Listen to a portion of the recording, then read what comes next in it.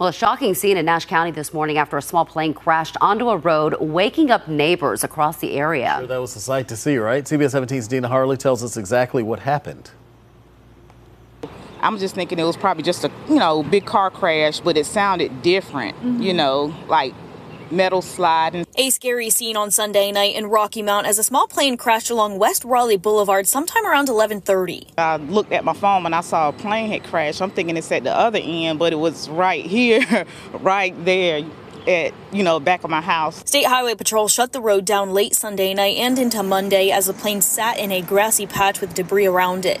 No injuries were reported in the crash as the FAA and NTSB joined the investigation Monday morning, working to figure out exactly what brought that plane down. Neighbors say it's something they have never seen before. It's terrible and it's odd in this area. I would see like on 301, mm-hmm. 64, but right here, mm-hmm. it's it's odd and it's weird.